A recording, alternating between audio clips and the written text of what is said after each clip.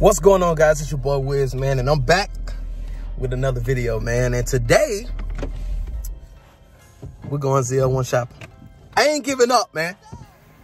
I gotta get this car. So today, I seen one online, and right now I am at, uh, well, I wish I can turn my, my camera, but I'm at uh, Southtown Chevrolet, and um, they got a blue one here, and I want to go look at it. So, um, do a test drive on it. Hopefully they got a straight road for me to hit it. But uh, I'll get back with you guys and let you know what's up. Here she is, guys. Ooh, woo. Goodness gracious. It's kind of dirty, but you know, you get the point. This one got 14,000 miles on it. Got the Alcantara right there. So he said the guy before this had a, uh, he traded it in for, he said a Z, uh, Hellcat, Hellcat wide body.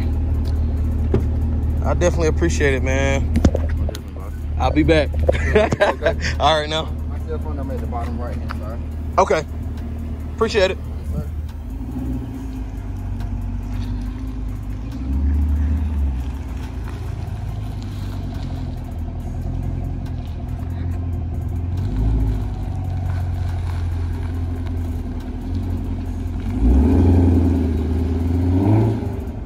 Guys.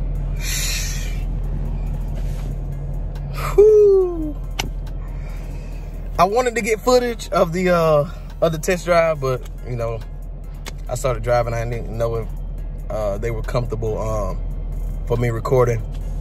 But um, guys, the ZL1 is my next car. You heard it here first. The ZL1 is my next car. That thing gets up. oh my gosh. But I never dri driven one before and um guys I never driven one and I was already saying the ZL1 was going to be my next car before I even got in one. So that was the first time for me getting in one. And um guys, I must say, man, that car is not a joke. That car is not a joke, man. This, that's the fastest car I've ever been in. Cause I ain't never driven a Hellcat because I was never interested. Like, you know, everybody else, I want to be different. So um, I'm always Chevy gang, man. I mean, I get your Mopar people, shout out to y'all, but I love Chevy, man. So I've always been, this is my second Camaro.